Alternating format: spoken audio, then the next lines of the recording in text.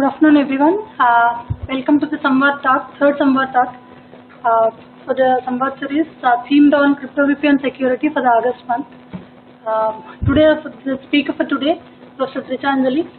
Uh, uh, Dr. Tricha Anjali is an associate professor at IIIT Bangalore. She's been associated with this institute since 2014. Uh, uh, her research interests are in computer networks and network security.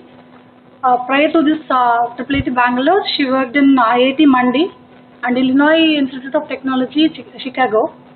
She obtained her uh, postdoctoral degree from uh, Georgia Tech Institute of Techno- Georgia Institute of Technology, uh, Atlanta. Today, along with her, uh, her uh, research students, Ms. Sanjana, Ms. Sanjana Prabhakar and Ms. Uh, Preeti Kumari will be part of the session. Over to you. So thank you all. Good afternoon uh, for coming for this session. Thank you. So what I plan today is a very high level overview of securing uh, IoT networks using blockchain technology. So there are uh, three parts to this presentation. First one, I'll just briefly motivate what is IoT, why it's gaining popularity. Second is about what are the general attacks that are possible in an IoT network. And third is uh, how can we uh, solve them or what are the various use cases of applying blockchain to uh, subverting some of those attacks in the case of IoT. So I have two of my PhD students here, Anjana and uh, Preeti, who will be uh, contributing to the second and third part of this presentation. Right, am I audible? Yeah? Okay. Uh, so as I said, these are the three parts for the presentation. So Internet of Things, I'm sure everybody knows.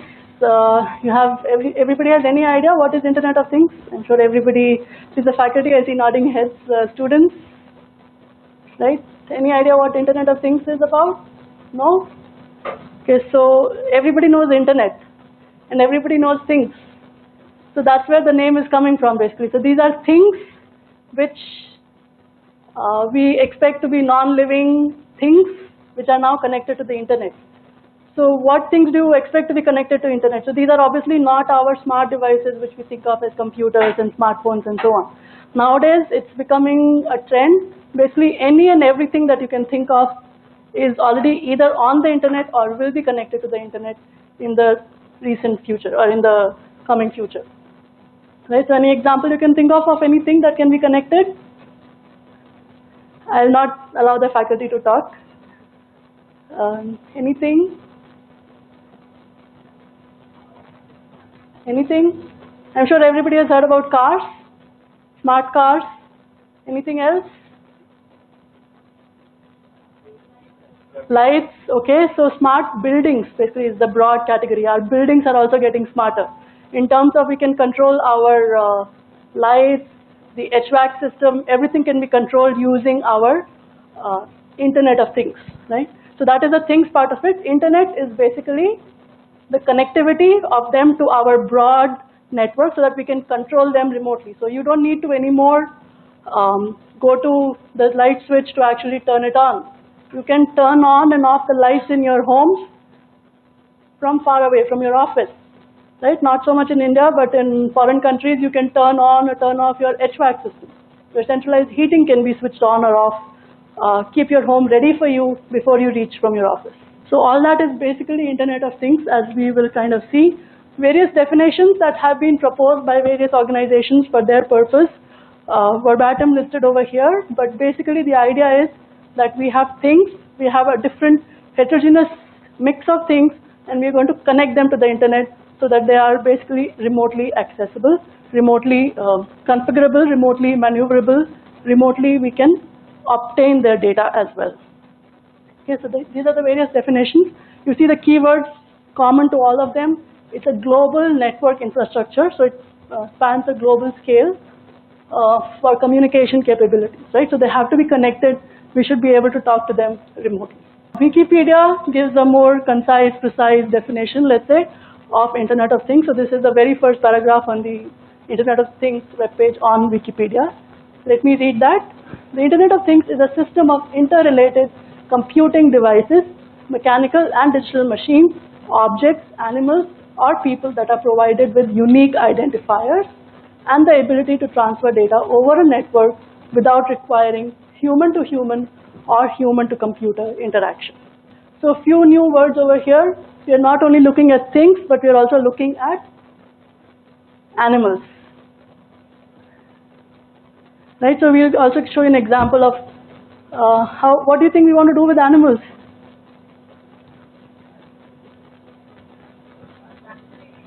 Vaccination, okay, so anything to do with animals. So the use case that we will look at later today is about tracking the inventory of uh, the meat product of animals, right? So um, basically everything that you want to track, their vaccination, their uh, mobility. So recently I saw one um, um, a graphic that showed an eagle who was fitted by a, with a sensor and how that eagle traveled for 20 years. Okay, the whole flight path of that eagle for 20 years has been spanned across continents uh, before the eagle died actually. Right? So the point was that how the eagle is actually taking longer paths to avoid uh, flying over the oceans and the seas. Okay? So anything you want to track, even with animals, Internet of Things comes into picture over there as well. So there's also two terms you might come across.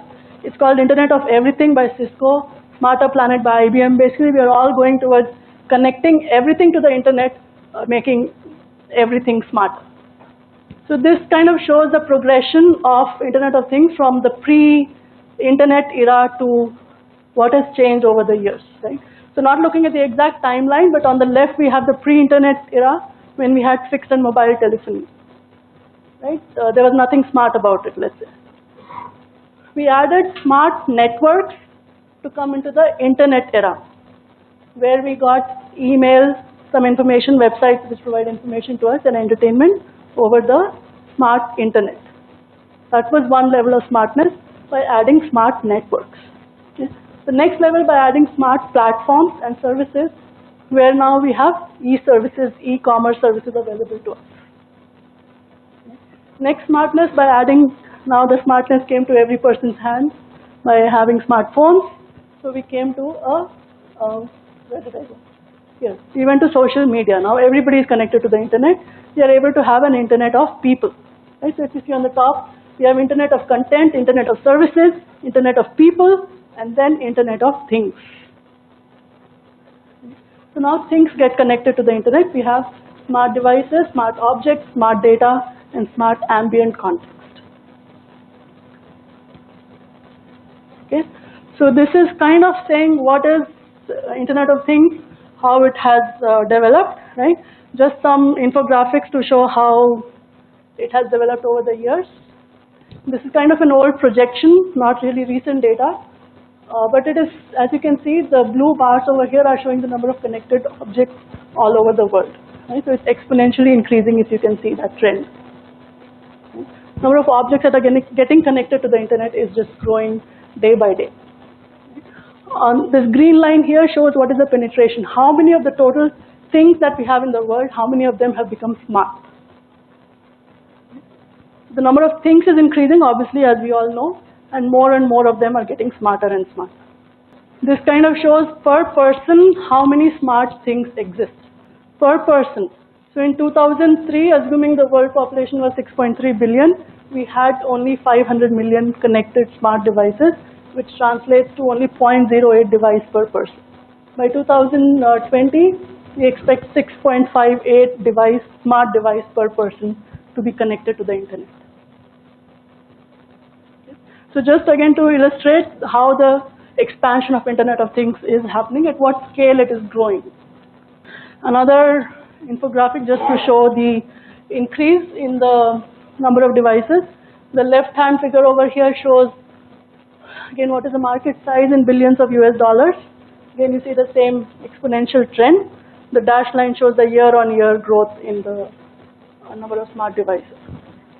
Right? Basically to show the penetration of the smart devices that we have. The right side over here shows what is the application, what is the use case, what is the domain where we are seeing more and more smart devices, what is the fraction of those devices. So if you see 26%, about a quarter of smart devices are in the smart city uh, domain. Okay. So what do you think is meant by smart cities? How will you, so now it's a big thing in India as well, right? There are many smart cities that are being developed. What do you think is getting smarter about cities? the traffic signals, okay. Anything else? Connectivity of everything, okay. At the city level, think about it at the city level. What would the city want? Smart? Vehicles also not at the city level, that's more at an individual level. What would a city want to invest in to make itself a smart city? What kind of infrastructure? What, what infrastructure are you wanting to make smart? Automation of what? Machines. A city owns which machines? They're owned by the company, not by the city. What does a city do? Transport system, I heard that already. Anything else? Garbage collection. Right? Roads, um, security, okay, so, okay, automating their data of their, um, basically traffic surveillance, let's say, right? Any kind of surve- surveillance, that would be one. So their water system, their traffic system, their garbage system, their health system, all of this can be automated to make a smart city. Right? So the fraction of devices that are appearing in smart cities is about a quarter of all the smart devices that we have in all over the world. Right? Another major fraction is in industrial IoT. What is meant by industrial IoT? Sorry? Robotics? Okay, so IoT is at a thing level, it's very small. Robotics is much larger, but basically it is automating the industrial processes, their uh, sensing, their actuation is the industrial IoT part of it. And then we have connected health, right, 20%, not a uh, insignificant fraction, 20% is connected health devices. Any idea what that is? Monitoring of a patient's records, patient's health, uh, vital statistics, let's say, monitoring, storage, um, even as simple as something like a Fitbit uh, is the IoT device. Okay, and then we have smart homes, connected cars, wearables, smart utilities, and others. Uh, what goes in a smart home? As I said already, your uh, lighting, your HVAC system, all of that goes inside a smart home. So these are the basic building blocks of uh, an IoT system. You need to consider all of these while you're designing, while you're implementing, while you're deploying an IoT. Obviously the end devices, which are the things, right? You need to, um, they need to include a sensor or an RFID tag, what is their function, how they're going to communicate with the rest of the network. That is the thing uh, functionality. So you have to design the appropriate uh, functionality for your appropriate uh, purpose in that thing.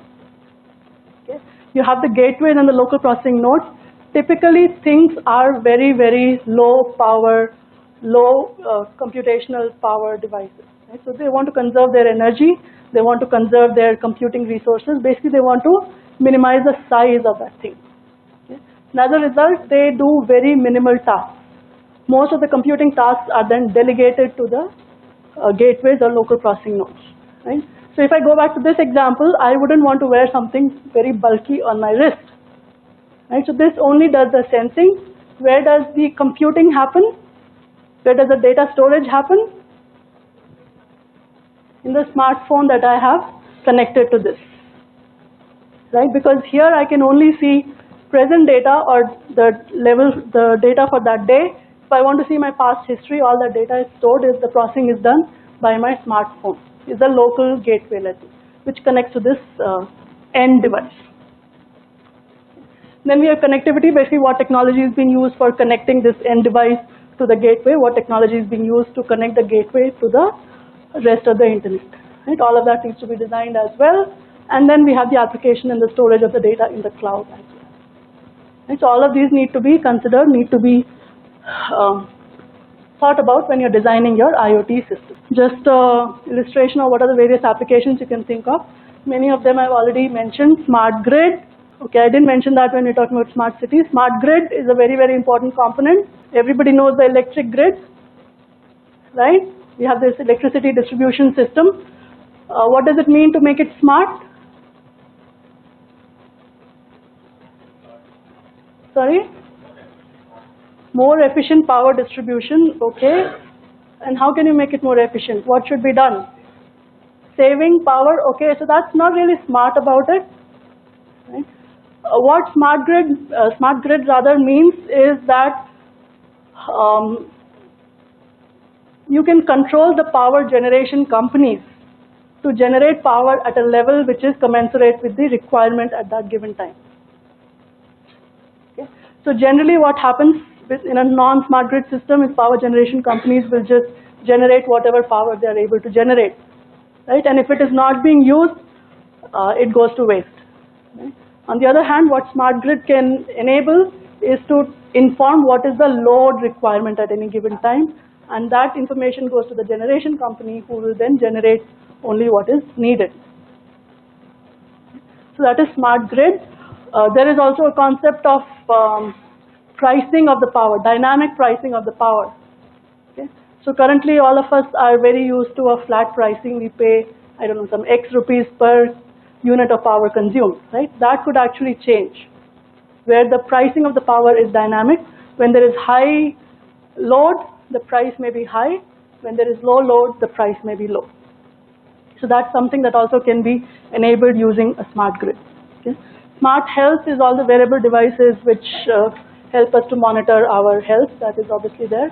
Smart home, uh, smart cities, smart industries, smart TV, uh, smart watch, smart car, and smart kegs. Okay, so these are the various challenges that um, exist for uh, deploying an IoT system. Naming, addressing, so as I said, we have six, on average more than six devices per person. We have 7 billion, so we have 42 billion devices, right? And everything needs to be uniquely addressable. Everything needs to have a unique address associated with that. So how do we maintain this uh, massive level um, addressing system? How is it um, accessible? That's a big problem, right? Scalability, interoperability is also a problem because you need to um, work on the scale of uh, 40 billion devices that exist, uh, that are connected to the internet, right? So the scalability, how do we scale as more and more uh, devices will get connected uh, per person, the system has to scale for that. Mobility, obviously, the devices will move, right? Not everything is static.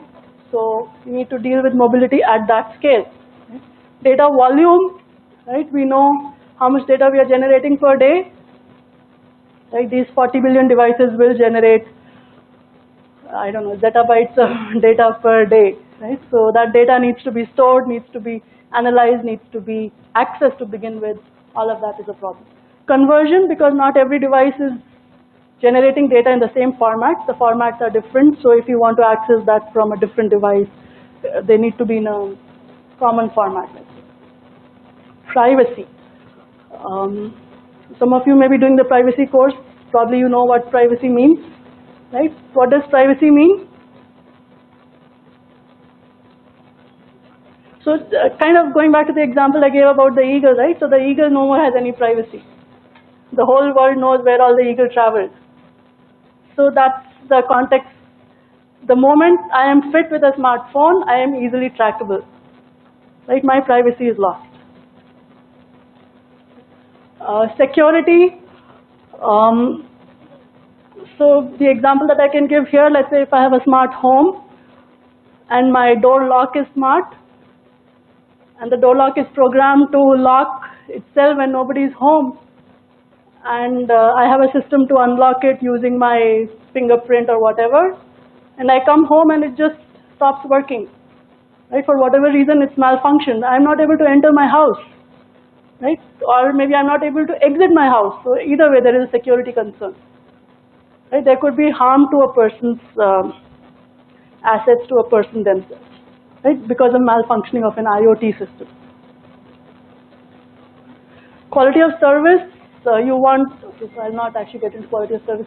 Network traffic congestion, as we said, there's so many devices, so much data that's generating, all of that needs to be communicable, needs to be transmitted. So there's so much traffic that we are generating uh, that needs to uh, travel over the network. Power consumption. Even though they are designed for low power, but still they need to be charged once in a while. They need to, um, imagine we need wall sockets for charging all of these devices frequently. From the developer of an IoT system, what concerns they have been Okay, maybe I should mention one thing. If I just go back here, this is in random order. Okay, there is no sequence to the way I've listed these challenges over here.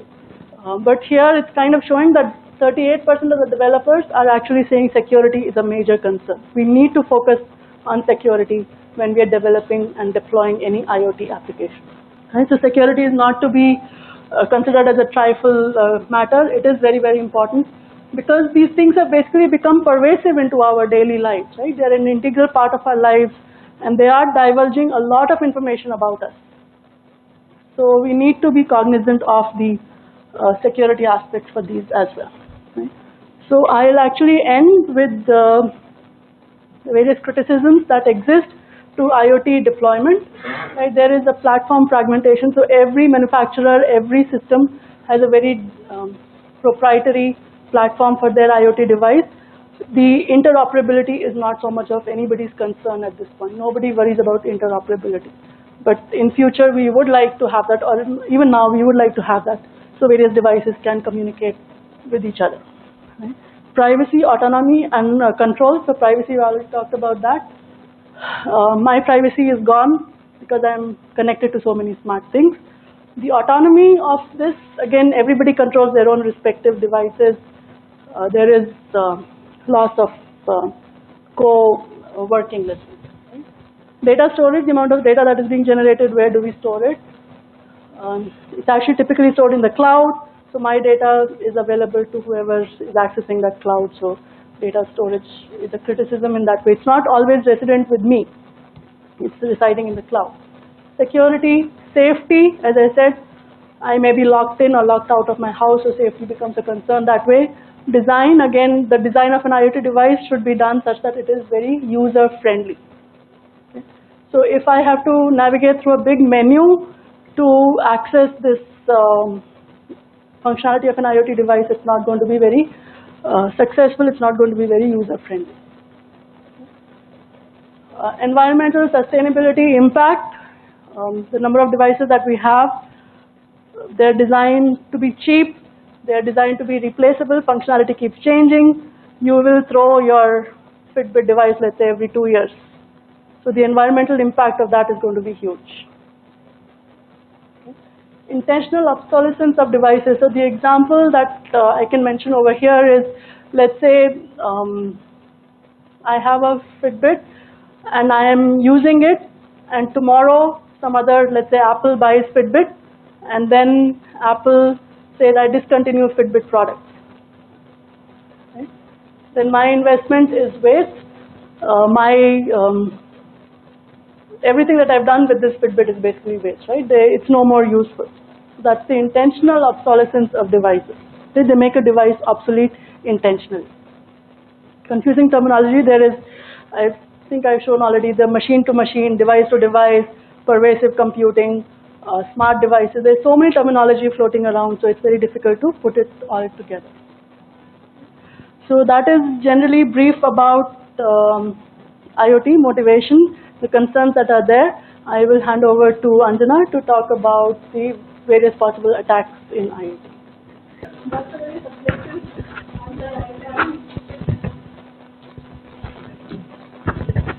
So the question.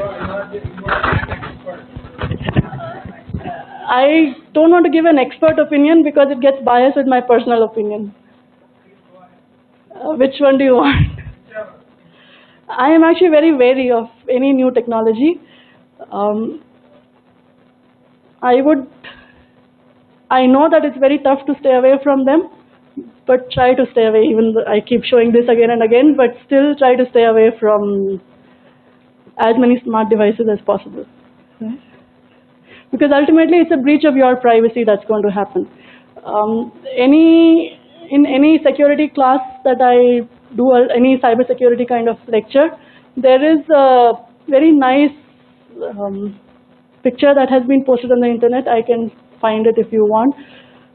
It's an ad by Google, so it's you know a poster on a tree which says Google is. I don't know if anybody has seen it before. It says Google is hiring, but nobody needs to apply because we know everything about everybody. So that's not even using smart device. That's just based on the browsing history that we have on the internet right? And that itself divulges so much about us. just you can cannot even imagine what would happen if we go towards smart devices. That's an antithesis of what we are going towards, but uh, in our own, for sake of our own privacy and security, I am a person who is very uh, security aware or privacy aware, let's say, as much as possible. So I would try to stay away from this. Good afternoon all. So now we'll see what are the uh, common attacks that's happening in IoT. So as ma'am has discussed in the previous slide, so you have seen how much security is important in uh, IoT. So this is a newspaper clipping. So the Subex report says India saw more cyber attacks in IoT space last quarter. And there is an increase in the number of attacks with geopolitical motivation. That's what the report says. So this happened, the cyber attacks on India rose sharply within 20 minutes during Indo-Pak border conflict. So this is yet another motivation to uh, study uh, or to uh, implement more security uh, practices in IoT. So broadly, the attacks can be classified into passive and active attacks.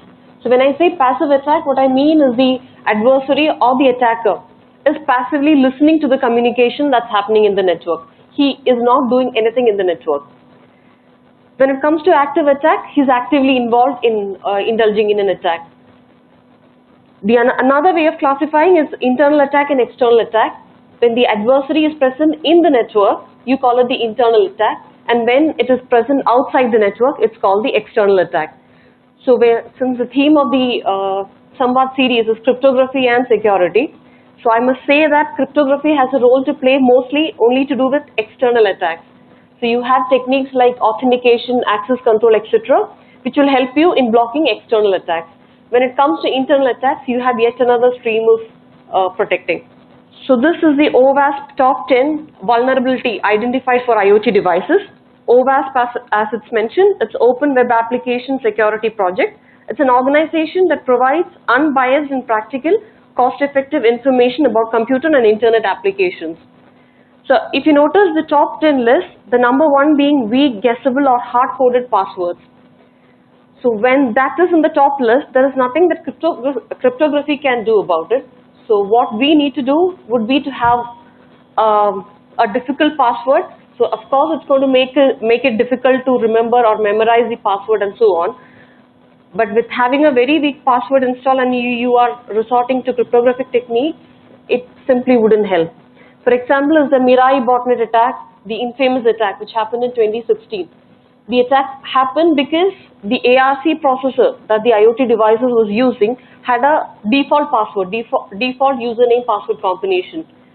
So the attackers or, or the botnet could identify the devices which was using the default username uh, password combo and it simply uh, attacked the entire network and the whole Dyn uh, server was brought down.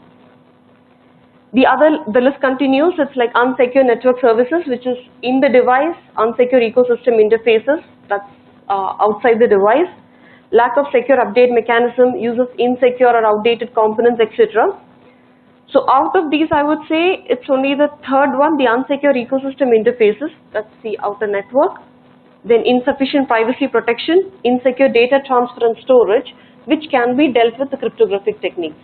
And that is what we'll be looking at.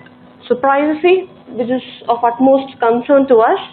So the privacy attacks can be basically classified as key-based attacks. So wherein uh, the attacker tries to get hold of the key when the key exchange process is happening or uh, it tries to forge a key. So any attack to do with the key is called a key-based attack. The next is data-based attacks. So this will uh, will include manipulation of the data like a chosen plain text attack and chosen uh, ciphertext attack and so on. The next is impersonation based, uh, this is a typo over there, it's impersonation based attacks. So wherein uh, a false identity is used to uh, create an attack. Next is physical based attacks which includes collusion wherein two or three uh, nodes uh, collaborate together and bring in an attack and so on.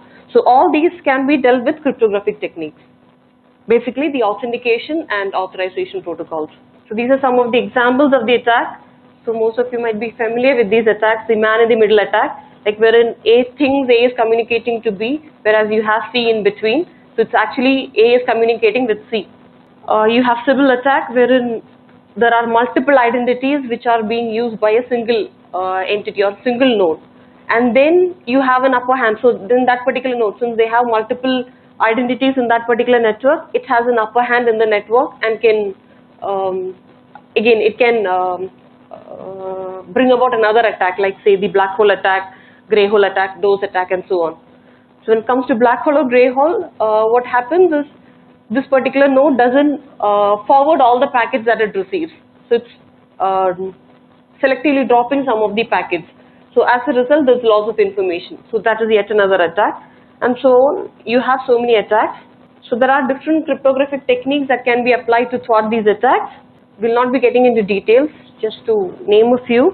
So out of these, it's secure, secure cryptographic hash function, which is used mostly for, sec, um, for securing the IoT devices. So when it comes to securing an IoT network, so you basically need all the uh, all these uh, properties: authentication, integrity, non-repudiation, access control, and privacy. So authentication is basically identifying the uh, user, uh, basically saying like who you are. And integrity, like when you have a message transfer, when A is communicating to B, we have to ensure that the message remains intact.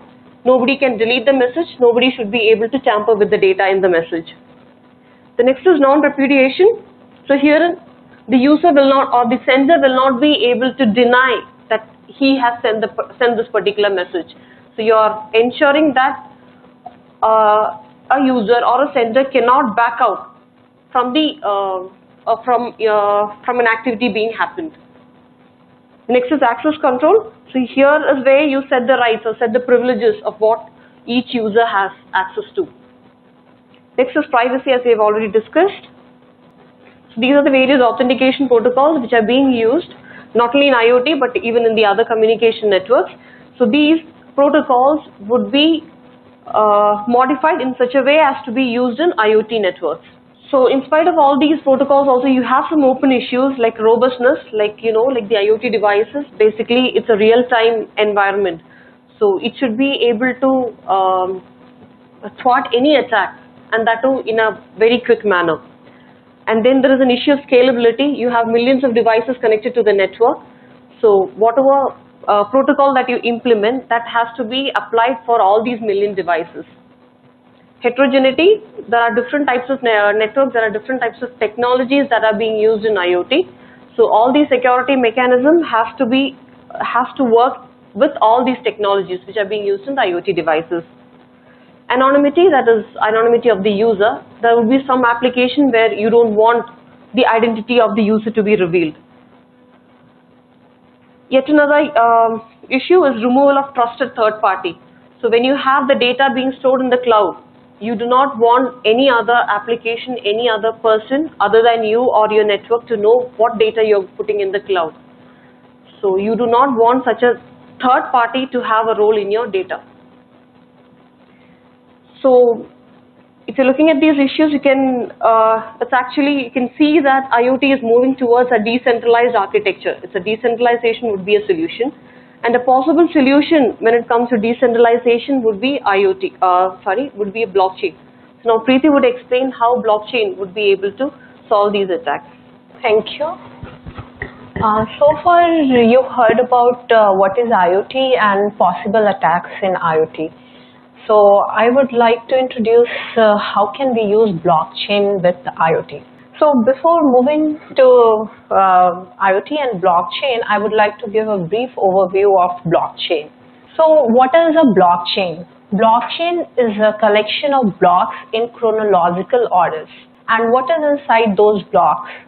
As you can see in uh, those blocks, there are hashes of transactions and each block and every block is related to each other by a hash. The hash of block 10 is stored in hash uh, in block 11 hash of block 11 is stored in block 12 if somebody makes any change in block 10 even a slight modification then the hash of that block is going to be changed. So as the hash of block 11 and so on so this is a property that is called immutability that uh, we can achieve through the use of cryptographic hash. If somebody wants to change the uh, blockchain, they need to change the whole blockchain. And uh, the second property of blockchain transparency. Uh, like everybody, each participant in the network is sharing the same ledger. So whatever the view they are seeing, they all are seeing the same view only. And they, which block has to be added that uh, decision is taken by a consensus mechanism. That every party is aware that this block is being added and they can validate to all those transactions and they can verify and they can get a confidence that whatever is being added that is known to all of us and uh, if uh, we are already, uh, already knowing which node is adding what type of transaction so there is always a traceability and accountability if we talk about particular if we particularly talk about permission blockchain, then the nodes which are in permission blockchain, those are authorized. Those are known to each other. So whatever the actions are being taken in that blockchain, that is known to others and they can be held responsible for their actions. So these are some properties which can be used to an IoT network. So how can we use these properties? to an IoT network. First of all, I would like to discuss about the IoT architecture. IoT architecture is mostly client-server architecture and uh, blockchain architecture is a peer-to-peer -peer architecture. So when we combine these two, then devices can talk to each other, it can become decentralized, they can have a shared ledger and they can have uh, all the transaction, they all uh, nodes can view and every device will be knowing what information is going to be added in the block whether it is a correct information or not. So earlier it's like in IoT devices some devices is behaving maliciously uh, it's difficult to find it out. But here there is a group consensus thing. And until and unless that group consensus is not reached that new block is not going to be added in the network. So that transaction is not going to be added in the network. For sure. So it is easy to find which node is working maliciously. The second thing, uh, uh, how can we uh, find an accountable node which is performing some bad actions uh, in the network? So there is permission blockchain, every hmm. transaction is being signed, so we can find whichever is the responsible node and uh, since every node is on the same page they are all able to see all the information so an integrity is maintained in the network.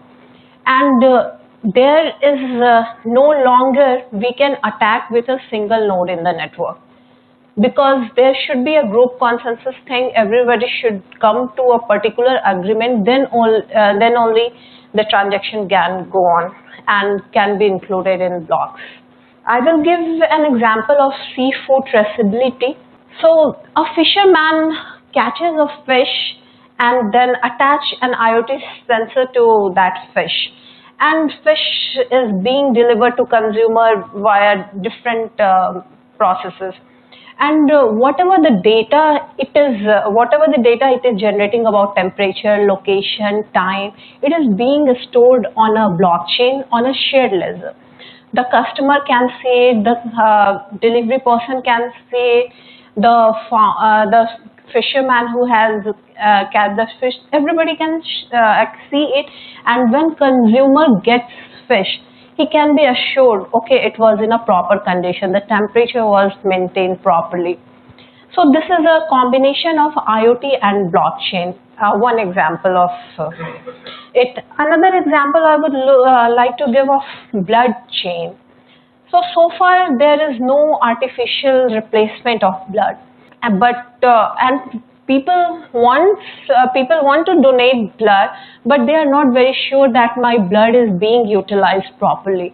It is properly transported or it is properly secured or it is properly saved whether the needy person is getting blood or not so supply and demand there is a much difference between supply and demand of blood.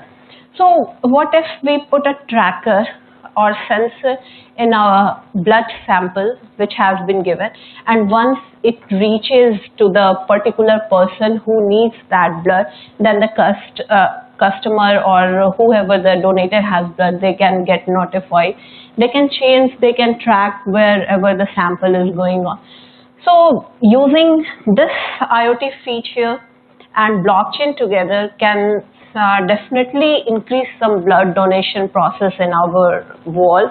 Uh, but there are still some issues, some challenges uh, to implement blockchain with IoT. The first of all, there are various kinds of devices.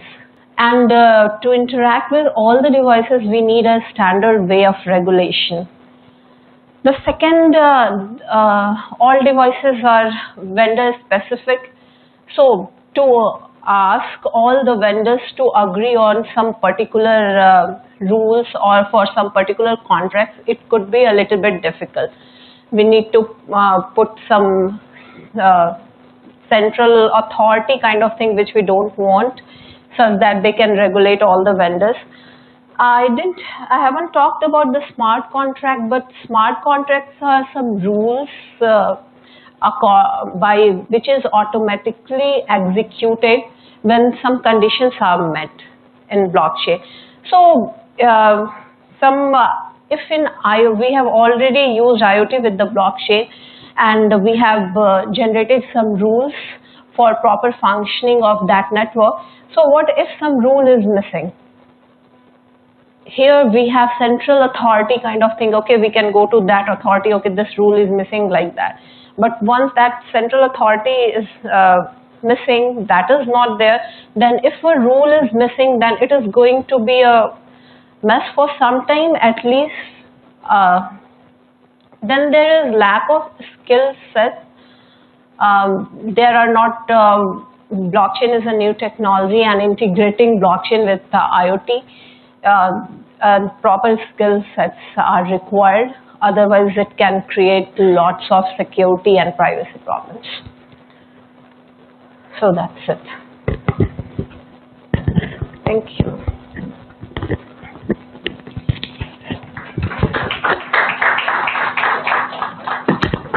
So we didn't present any ongoing research work, but basically our team is working on uh, applying blockchain for uh, access control and authorization in the IoT um, systems, right? Mainly we are also looking at healthcare systems and in general IoT, smart home kind of uh, access control systems. So, but I didn't want to touch upon those today, so they're uh, just left here. Just kept it as a general IoT uh, security and briefly talk about blockchain here as well. So open to questions to all. You were.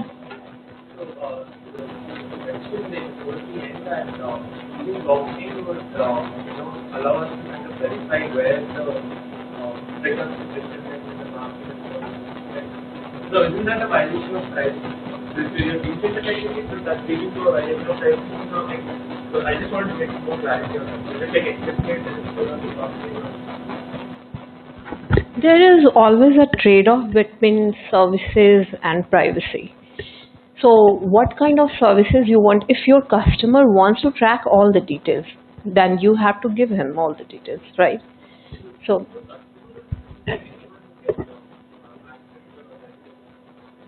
anyone who is involved in that process. And we can set some rules, the, the smart contract I was talking about, who is eligible, eligible to see what kind of information.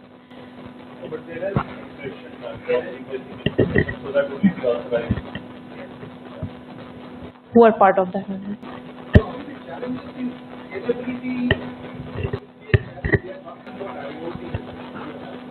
Right, so I mentioned that scalability is a big challenge. You have to work at that scale of 40 billion devices within the. It can be a challenge for operation as well as a challenge for security. The amount of data that gets generated, data storage. Okay, so you need to, again, on the application, the trade-off in terms of how much data you're going to store on the blockchain. Right? The application may not uh, want entire, every single transaction to be stored on the blockchain.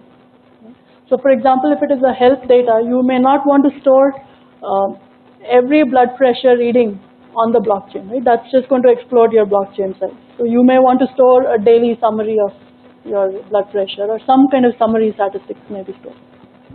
So obviously, a blockchain being a distributed ledger, you cannot store everything on the blockchain. It depends on what the application wants, what kind of access is required. That will be there.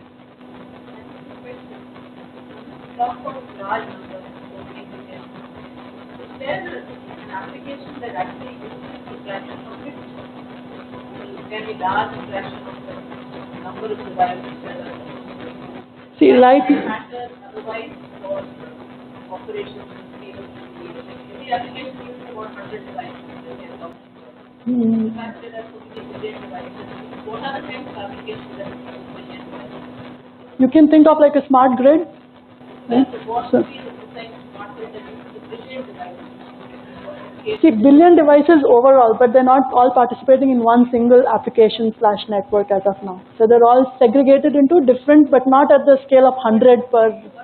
keep coming back, these comments, but they don't seem to be really related, right? I mean, initially there are a few slides which say this like this. Right, that's total number of devices. You can think of it from the internet perspective. Internet has to handle data from all of them. But at the application at the server level, it's, uh, I would say in thousands or lakhs of devices which will get connected. So if you go to a smart grid, let's say every house gets a smart meter. In a city, you will have um, about a lakh house.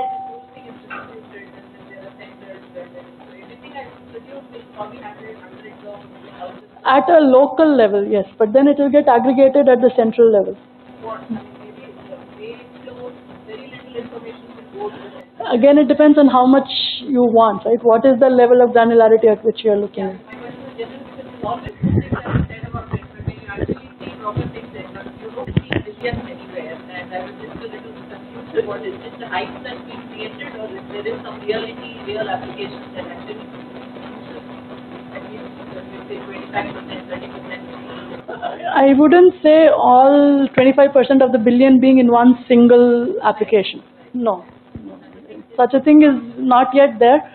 But we may at some point say every home having let's say tens of sensors, right?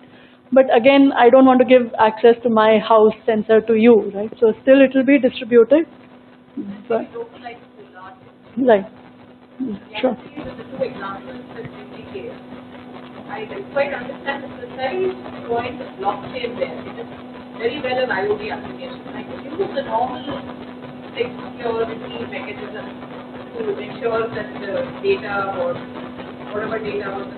What, is blockchain in that kind of scenario there? So basically, it's the scale at which we are working, right? So if it's in a central server, and I am located in India, and that fish has been caught in Korea, let's say, I am a very exotic fish eater, uh, then from which server will I get that data? Right? Instead, if it's in a blockchain, that uh, data ledger is somewhere closer to me, and I can get it faster. Otherwise, I mean, you could tamper with the answer wherever the legislation is not acceptable. Yeah, yeah, it is local, if I control.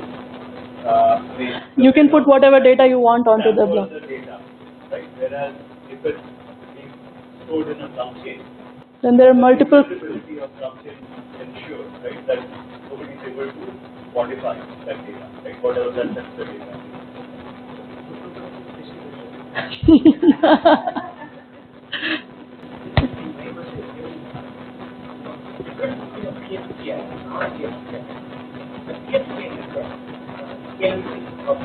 However, it provides usable.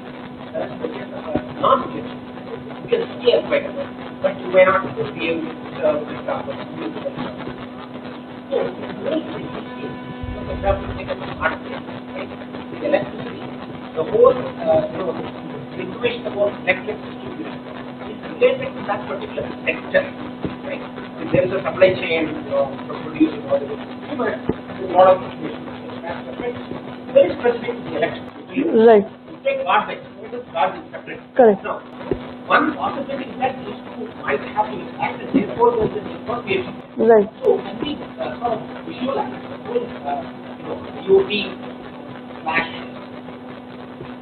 know, blockchain Hmm. as network of nodes which are sort of local clusters, which may not be blockchain implemented, because blockchain has its disadvantages, but only when they interact across the clusters, that we use. Right, so that's an idea actually we are working on. So at a smart cluster level, maybe a smart home or a smart hospital, within themselves they have their own uh, privileges, their own data, but then only a limited amount of data gets put into the blockchain for uh, cross uh, system uh, interaction. Yes. I'll talk to her question.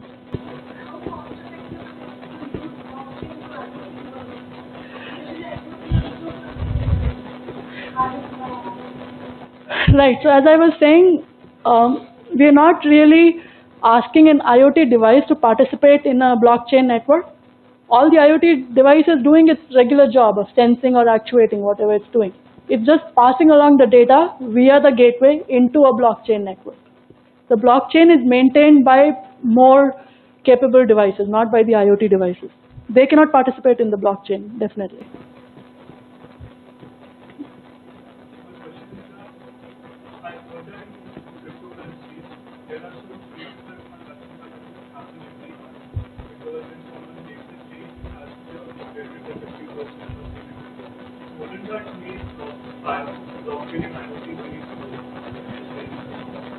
Uh, see, in the case of cryptocurrency, there is a lot of validation that needs to be done.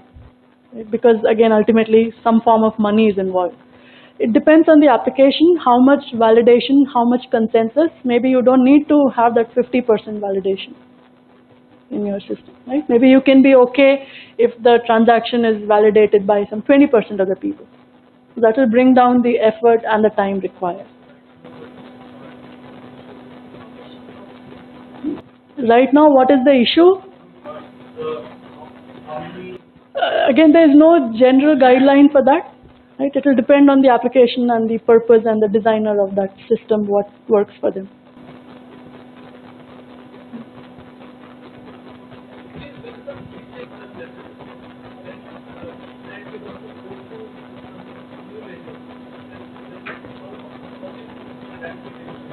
If there is a breach at some level and you want to move to a new ledger, um, as kind of was mentioned, if a single entity by itself is not uh, capable enough to break the entire blockchain. Even though they have a copy of the entire blockchain with them, but if they were to modify their own copy, uh, they will be beaten down as part of the consensus. Nobody else will believe them, and their change, their uh, malicious intent, whatever, will not propagate through the blockchain. Right? If more than half of them become malicious, that's when there is a problem, and I think at that point uh, nothing can be done about it. Does that answer your question? DDoS attack? Okay. Again, as I said, if uh, your 50% of your um blockchain system turns corrupt, then there is no way out at that point.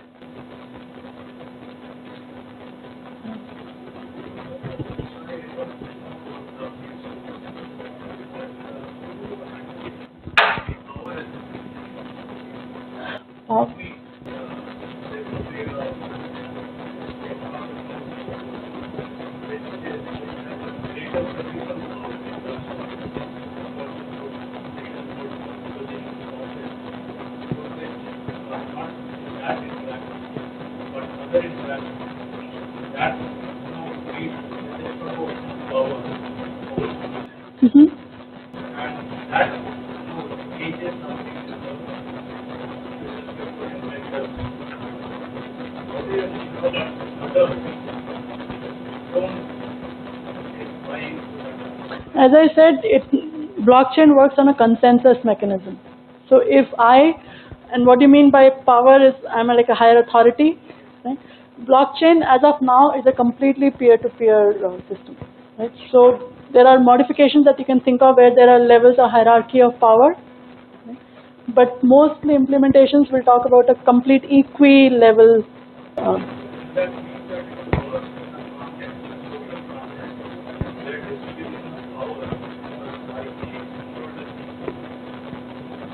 That's what I've seen so far, I would say. Uh, people may have different authority levels in terms of what data they are able to access, but not in terms of what uh, they can modify. Access in terms of reading the data. no.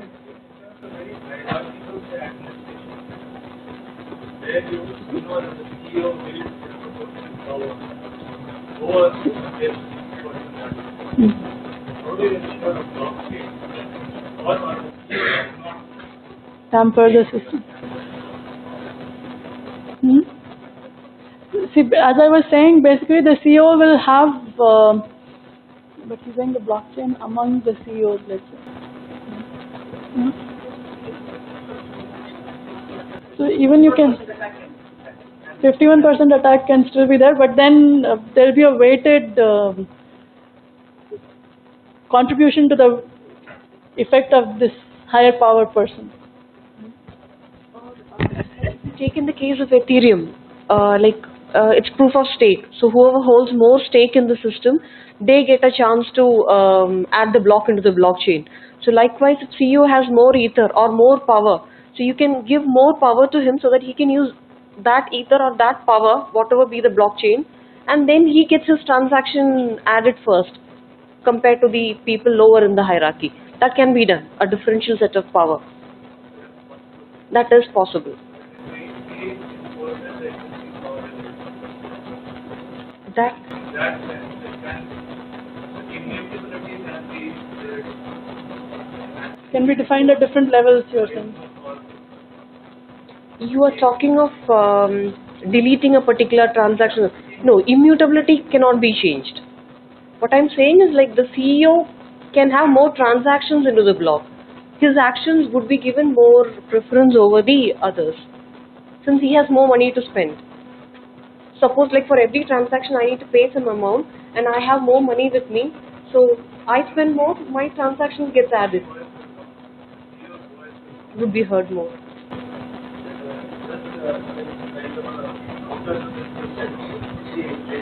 Uh, for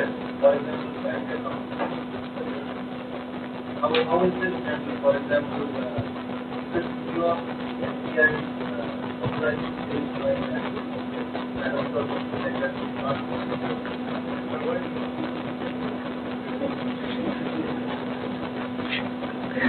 No, but I think the point that he's trying to make is because CEO has higher power, so does he have, does it translate to CEO having a higher power to mutate the blockchain as compared to a lower power person, right? That's what he's kind of saying. That is the immutability the same, the level of immutability the same for a lower power person as compared to a CEO uh, person, right? A higher power person.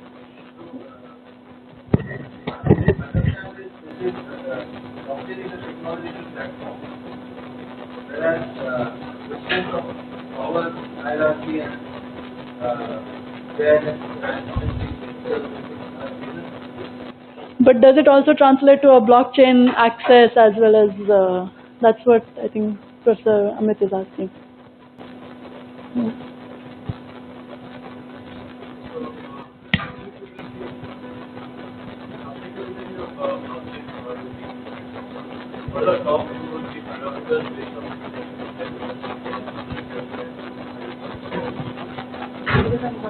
Writers, multiple people So first of all, you should want a distributed ledger. Right? Does the application uh, need a distributed uh, setup? Immutability, the distributed setup. Anything else? The cost. The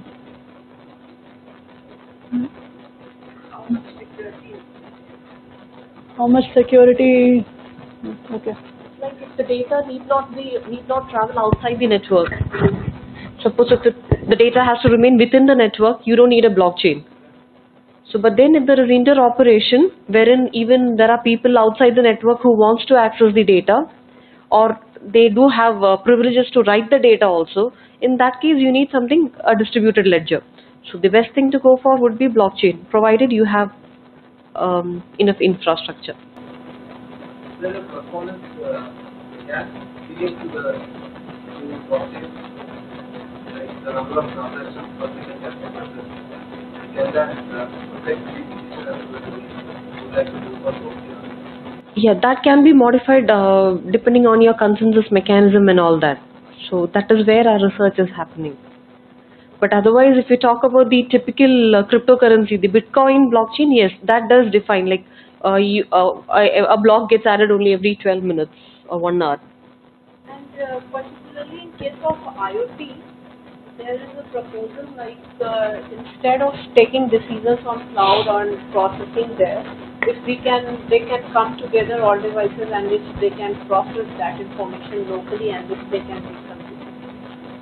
Because IoT devices are mostly resource constrained, so if they can come together, some devices can have more uh, resourcing power, power and they can take some decisions locally because the, the number of devices is going to be up and it will be difficult uh, for internet to handle all kind of data.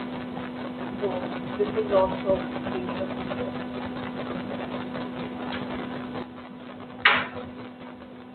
Two last two questions, one there and one here. I have something. Yeah, But the work was concerned, uh, more than 50 percent participants for Arab that doesn't work. This system won't work in India. India plastic.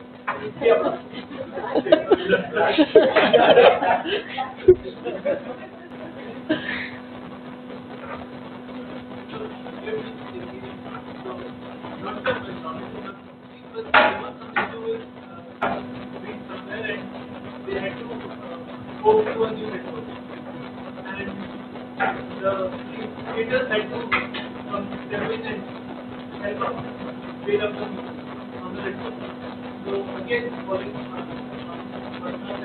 the power of the creator is actually making it centralized again, where the blockchain is actually decentralizing it. It's a nascent technology, right? So I think it will take some time to stabilize.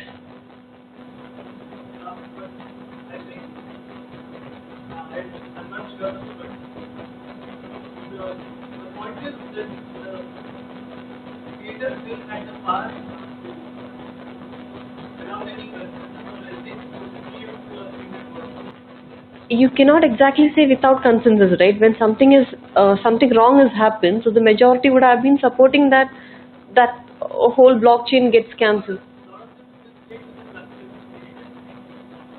There is a concept of soft fork and hard fork. So it's like how many people are supporting it. A uh, long number of uh, population is uh, supporting you, then you have to go that way. Right, soft forks have some rules that uh, they will remain in that blockchain only, but some rules are changed. But hard forks, they will make a uh, totally different blockchain. If you are alone following that, your new blockchain, then there is no point of blockchain, right? If lots of people are following that blockchain, then there is a point. You have to valid point. That's where you got a fork, right?